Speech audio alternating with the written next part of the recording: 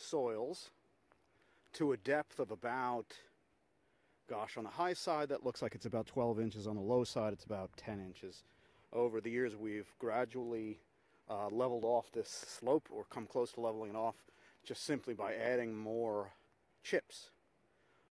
Over the years, they've also decomposed and broken down with the assistance of worms and all mycology in the soil. And now they look something like this.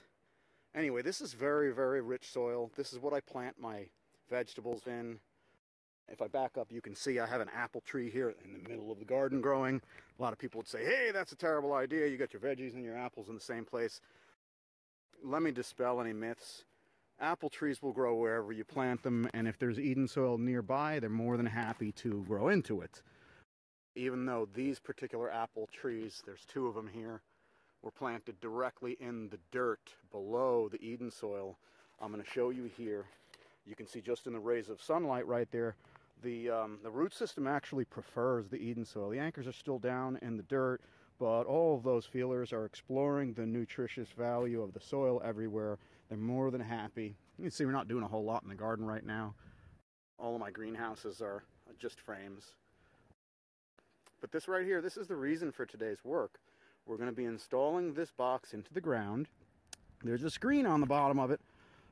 It measures about 2 foot by 4 foot. It's 14 inches tall and it's made from sheet metal with a metal screen on the bottom. I simply attached it using screws and some uh, other uh, uh, folded metal pieces. I think in the heating and air industry they call them uh, S-lock or something like that.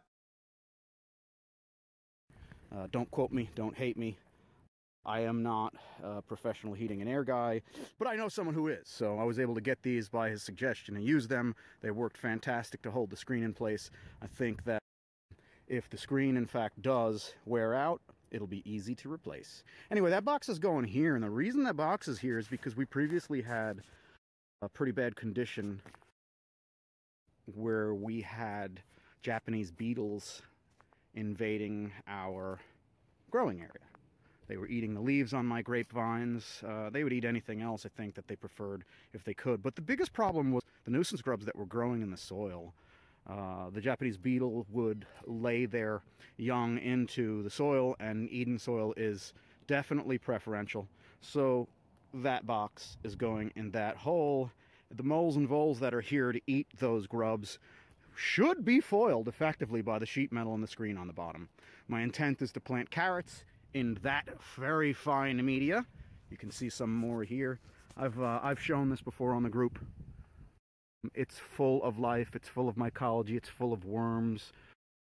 You can put in your hands, you can squeeze it, your hands, you can see right there the moisture. This is what we're looking for. This is fertility. These little buggers right here, they're just roots from the apple tree and other things that we're growing here. The worms and the soil biology will be more than happy to consume them right in place. I'm sure if I fished around here enough, I could find several of the worms that I transferred to this mix. Anyway, I'm going to drop that in. I'll take some pictures, complete the video, and maybe we'll post it today. Hope you enjoyed watching.